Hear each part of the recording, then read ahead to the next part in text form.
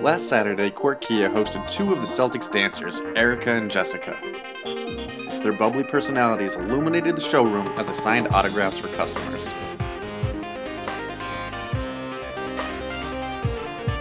You will always have a great experience at Quirk Kia.